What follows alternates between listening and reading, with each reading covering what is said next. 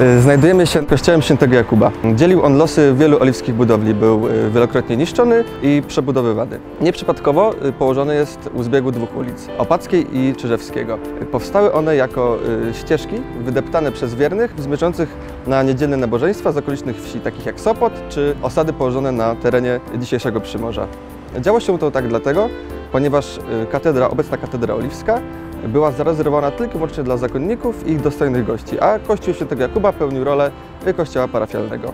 Mm, Do dzisiaj widoczne są ślady jego burzliwej historii. Na przykład nawa południowa została całkowicie zniszczona, y, ale wskutek y, niedokładnej odbudowy musiała zostać całkowicie rozebrana. Na średniowieczne mury nałożono kostium barokowy i tak y, ostry łuk został zastąpiony okrągłym oknem, a wieża uzyskała swój obecny kształt dopiero w XVIII wieku. Kościół świętego Jakuba kryje jeszcze wiele ciekawostek i na, do poznania których zachęcam podczas spacerów z lokalnymi przewodnikami i przewodniczkami po Oliwie.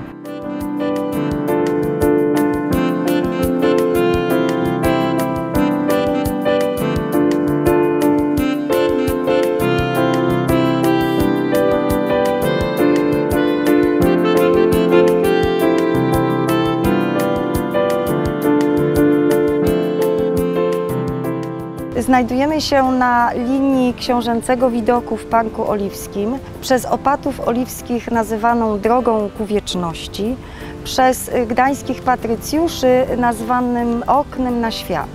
Wszystko za sprawą tego szpaleru drzew skierowanego w stronę stawu, a sam staw y, jest lekko podniesiony, i rozszerzający się, aby tworzył iluzję wody zlewającej się ze stawu z wodami Zatoki Gdańskiej.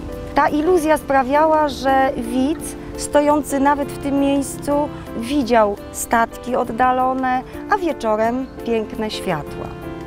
Przez lata dbano o to, aby na tej linii nie znajdowały się żadne, nie rosły żadne drzewa, ani nie budowano y, żadnych obiektów. Książęcy widok opisywany był przez podróżników y, przyjeżdżających do Oliwy, a nawet y, po wojnie wiele lat y, jeszcze y, mieszkańcy Gdańska mogli widzieć i statki, i światełka y, na tym książęcym widoku. Dzisiaj z niego nie zostało y, za wiele, jedynie iluzję można utworzyć samemu poprzez y, taki drobny element jak statek, wspomnienie tego dawnego widoku.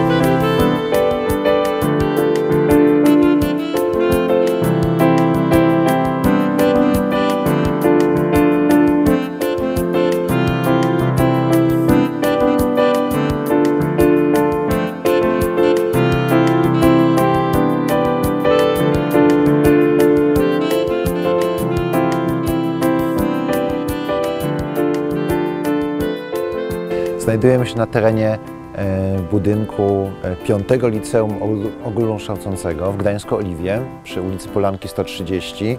E, Jest to szkoła, która jej historia splotła się z dziejami Oliwy i e, wniosła do jej murów e, szczególny przedmiot, szczególny obiekt, mianowicie e, fortepian Grottensteinweg, zabytkowy fortepian z 1910 roku, który tutaj w, jednym z, w jednej z rezydencji, rezydencji oliwskich e, sobie funkcjonował e, jako instrument salonowy.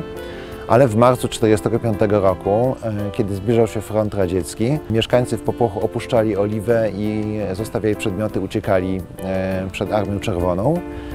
E, I ten porzucony fortepian e, znalazł w jednym z takich prowizorycznych magazynów nauczyciel muzyki Tadeusz Kłoś, który e, zamarzył sobie, żeby w piątym liceum powstała szkoła muzyczna. W sposób zupełnie nieoczekiwany nawet dla siebie samego dokonał transakcji z żołnierzami radzieckimi i odkupił fortepian za 2 litry spirytusu. No i ten e, taki niezwykły mit założycielski tego fortepianu funkcjonuje do dzisiaj i przydaje mu dodatkowego takiego smaczku, jeżeli chodzi o historię e, tego fortepianu, a sam instrument do dzisiaj służy e, uczniom i społeczności szkolnej, a w 2015 roku został wyremontowany i zyskał drugie życie i nową świetność, która mam nadzieję będzie trwała jeszcze przez kolejne wieki.